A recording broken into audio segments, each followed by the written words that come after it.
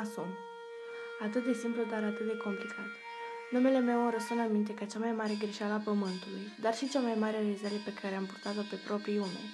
Balanța vieții mele a depins prea puțin de părerea mea, de ce-mi doream și ce simțeam că viața îmi va rezerva. Singurul meu refugiu spiritual era draga mea Parvane.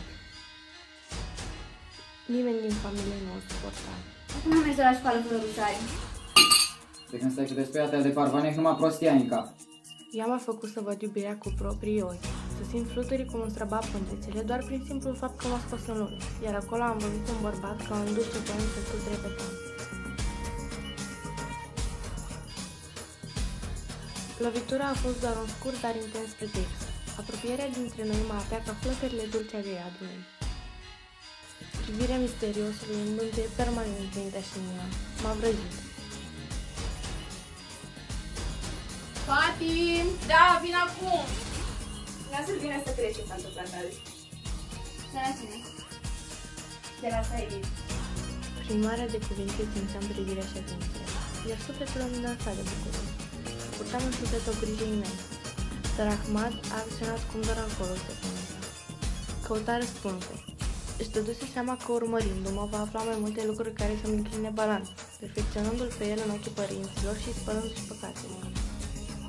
Vecina ce avea mai târziu să-mi devină apropiată principală și încerca să-mi umple inima la fel de mult ca parvane.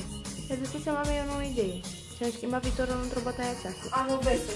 Am găsit un pretendent pentru Masumeh. E un băiat bun, educat, licențiat, cult, provine dintr-o familie nobilă. E perfect pentru ea. Ce? Ți-e frică de mine? Căsătoria m-a afectat. M-a făcut să-mi pun mai multe întrebări ca nici când. M-a întors pe toate părțile.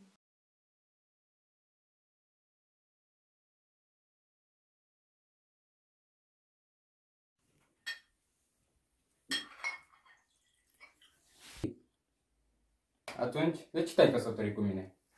Eu n-am vrut să mă căsătoresc, m-au obligat părinții mei. Voiam să îmi continui studiile. Și de ce nu ți-ai continuat studiile? Încă ești foarte tânără.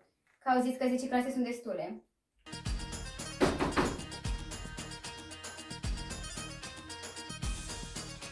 Mama mă presa. Era aceeași femeie arțăgoasă și brăzată de vreme ca miezul deșertului Sahara. Ai uitat că ai o mamă? Ai idei prin ce de am făcut? Ai uitat de responsabilitățile față de părinți?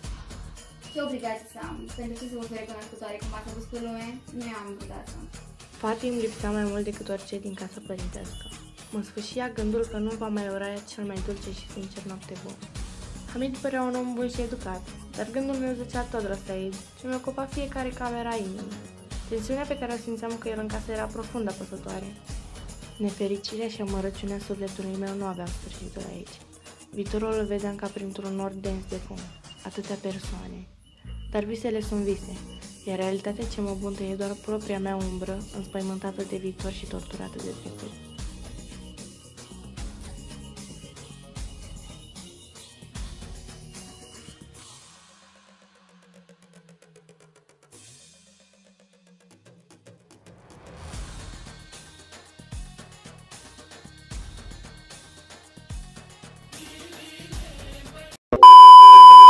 Față! Bă, Nișco, Nișco, uite la mine, că l-am interesat.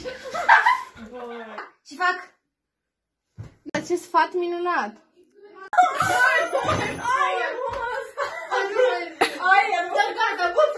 Lasă la știu.